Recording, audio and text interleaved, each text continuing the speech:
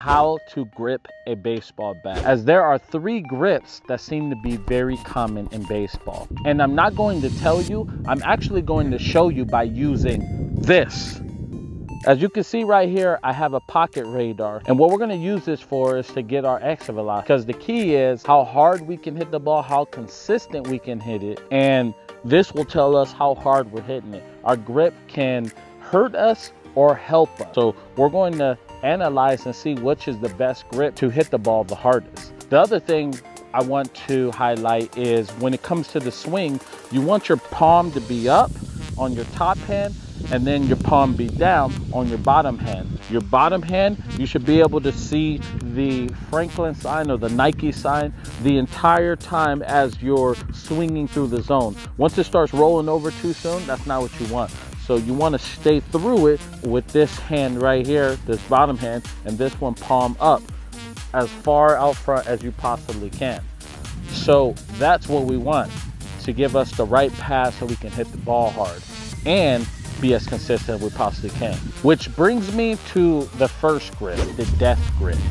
And it's something that I did when I was younger, and it's what I'm seeing now that I'm coaching. It's that grip where when a kid first grabs the bat, how they grip it. And it's just like this. You see that? Where they're in this tight position and it doesn't look athletic, it doesn't look comfortable. Yeah, it's it's the death grip and we're going to now test it out and see what happens.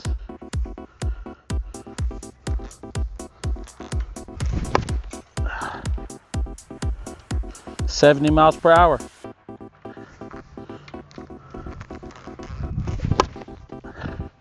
73.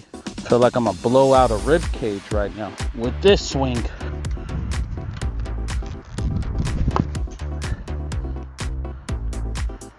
69. So when I was swinging this, it didn't even feel I could be accurate with my swing. I felt real uncomfortable and I felt lagging. I couldn't snap my wrist to get that extra bat speed. felt like my arms were locked up and I just was real like a power lifter trying to swing, which if that makes any sense. but I didn't feel athletic. Now we're going to go into the box grip. See a lot of young players do the box grip. That's a bit better. So let's test that out now. 78, okay. That felt more comfortable, felt more loose. 76.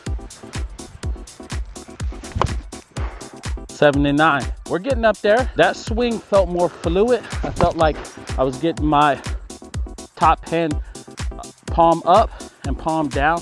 Felt like I get get through it better. I felt more athletic. Ooh, I felt good with that. Felt really loose. I felt more athletic. I felt like I could throw the head. felt like I could use my wrist to get that extra whip. And the last one we're gonna do is we're going to do knuckles lined up, or they say knocking at the door. So you're going to line those up and we're going to hit that way, okay? 86, 90, 91, 90. I felt more consistent with that swing.